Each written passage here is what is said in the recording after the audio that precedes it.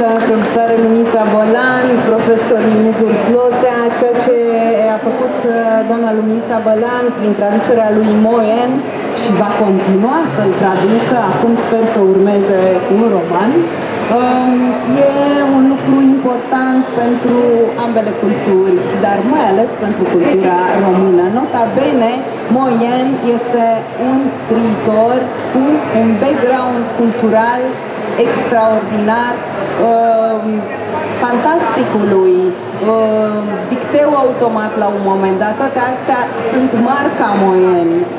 Nu este nimic furat de la sud-americani. Din potrivă, el merge și pe tradiție și ceea ce face este pur și simplu uh, un roman uh, fantastic uh, sui generis. Și povestirile, bineînțeles, că sunt exerciții, uneori exerciții excepționale care se înscriu în uh, acest trend. Trecem de la Moyen la un scriitor care corean, care este tradus pentru prima oară în limba uh, română, I In Hua, dacă am pronunțat corect, um, este un scriitor deja tradus în peste 20 de țări, acest roman, Imperiu fără sfârșit, asta la baza și unui film care a luat multe premii.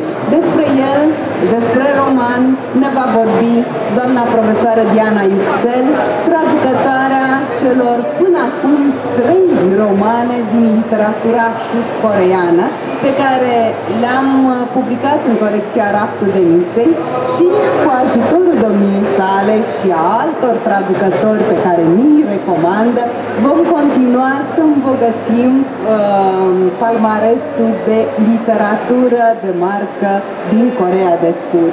Vreau să vă spun că uh, mulțumim foarte mult uh, fundației coreene pentru traduceri care ne-au ajutat atât la uh, subvenționarea traducerii cât și uh, la producția acestei cărți. Doamna Diana Yuxel despre Imperiu fără de sfârșit.